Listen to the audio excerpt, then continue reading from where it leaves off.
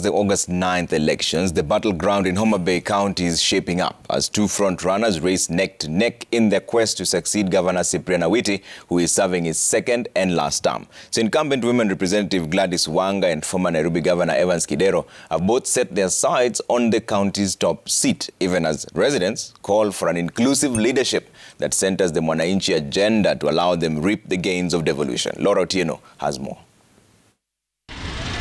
With a population of 1.13 million according to the 2019 census, Homa Bay County is one of the counties gearing up for a transition in leadership as a devolved unit, with the incumbent Governor Cyprian Awiti set to hang his boots and hand over to the new successor. The battle royale in an area perceived to be an ODM tough is shaping up between incumbent woman Representative Gladys Wanga, Evans Kidero, who was previously governor of Nairobi County, and Mark Rabudi, a businessman, all putting their best foot forward in the quest to succeed Cyprian Awiti. Having been in Homa Bay as woman rep for the last 10 years, the first thing is knowing the people you want to serve. I have lived with them. I know them. Our plight in um, commerce, industry, and attraction of investment made me decide that let me use my connections and networks to come and work for my people. I've ran companies, I've ran NGOs, both in Kenya and internationally, and therefore I've set up a small team, very elite, and we are going to really resist any attempt to mislead financial aspect. According to the annual development plan of 2022-2023 released by the County Assembly of Homa Bay, about 470,000 people in Homa Bay County live in extreme poverty, with 489,000 people experiencing chronic food insecurity and poor nutrition.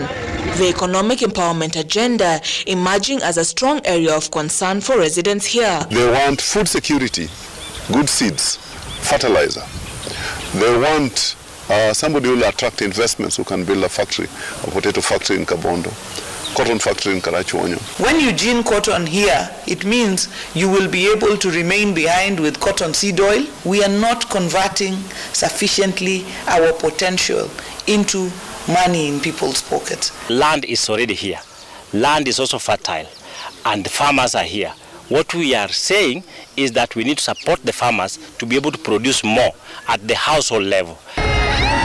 Considered ODM stronghold, the Homa Bay County voting pattern has been along party lines, having elected 31 out of 40 MCAs in 2013 from the Orange Party and 38 out of 40 MCAs in 2017, all from ODM. The calls by party leader Raila Odinga for the six-piece mode of voting throwing a spanner in the works for Dr. Evans Kidero, who bolted out of the Orange Party after Gladys Wanga was handed the direct ticket to fly the orange flag in the governor's race. ODM has not built a single school. ODM has not built a single hospital. So the people of Homa wants to elect individuals who will work, uh, who will work for them. Um, it is individuals who are elected and um, such individual will be elected. Our people, the way I see and talk, engage with them, they will elect um, ODM leaders, not because they are ODM leaders, because I also hear the argument that elect a human being, not a party. But we are also human beings in the party.